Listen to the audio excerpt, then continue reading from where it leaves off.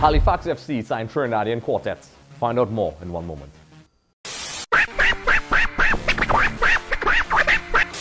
Hey everyone, welcome to another episode of Extra Time TV. This is Andres Sooklal, and we're going to head across to Canada. Head coach of Halifax FC, Stephen Hart, has signed the Trinidadian quartet of Jan Michael Williams, Akeem Garcia, Elton John aka the Rocketman, and Andre Rampersad. In a statement, Stephen Hart had the following to say about this. Basically, we had a plan of, of approach of signing the, the players from Trinidad and Tobago, but then the league had certain restrictions. So uh, the decision to, to go with two two experienced players and, and two young uh, up and coming players of a, of a particular age was, was very important. Um, uh, I'm very happy to have these players on, on board with us. Uh, I've worked with I've worked with them with some of them before, so you know there'll be some familiarity. But overall, um, I'm hoping that the working relationships between the players uh, helps the team gel very quickly. So there you have it, folks, straight from the man himself, Stephen Hart.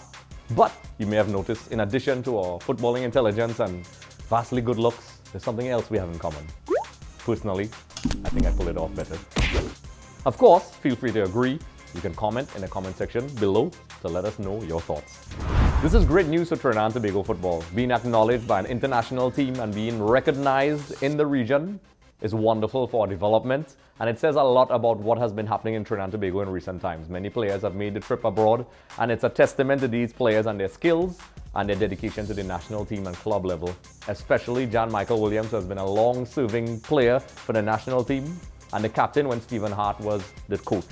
Also Derek King, if you don't know, also signed the Halifax Wanderers, who was also the assistant coach for Stephen Hart. He had recent success with Northeast Stars and also won the title with Santa Rosa in the Super League. So it's exciting. It's wonderful to see this happening. And we wish the players the best of luck because it's an exciting new adventure. And I really hope it works out for all parties involved because it will pave the way for other Trinidad and Tobago players when they represent us on the world stage.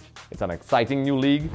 The Canadian Premier League is new, exciting, and we have more reasons now to look at it because now we have our Trinidadian representatives in that league. So with that being said, don't forget to like and subscribe to our YouTube channel. Follow us on Instagram and Twitter. Also, like us on Facebook because when you do that, you automatically qualify for a chance to win a copy of FIFA 19 from the kind folks of MiStore. So this is Andres Sooklal of EXTV, signing out.